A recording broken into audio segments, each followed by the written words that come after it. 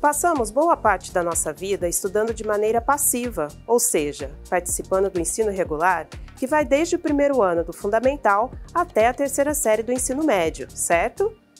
Aprendemos que isso é o que tem que ser feito, e nesse processo tem sempre alguém responsável por nos dizer o que, como e quando vamos estudar.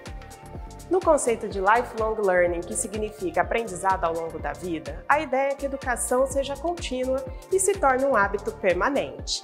Então, encerrar os seus estudos após a graduação é uma prática que vai na contramão do lifelong learning.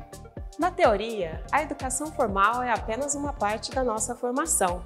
Aqui no Brasil, por exemplo, ela caminha a passos bem lentos, mas em outros países ela já é bastante popular. Uma pesquisa feita em 2016 nos Estados Unidos revelou que a grande maioria dos cidadãos daquele país já buscava conhecimento extra por motivos pessoais e relacionados ao trabalho. Para entender por que está crescendo esta vontade de se desenvolver cada vez mais, basta observar como o mercado de trabalho é altamente competitivo.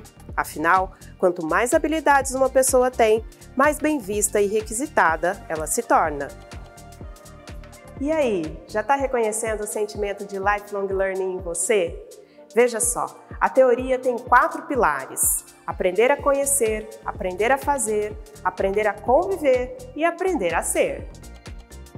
Em resumo, tudo isso se trata de desenvolver autonomia para aprender coisas novas. Segundo o conceito, essa expansão do aprendizado não é responsabilidade das instituições de ensino, não, viu? Mas sim da vontade do próprio indivíduo.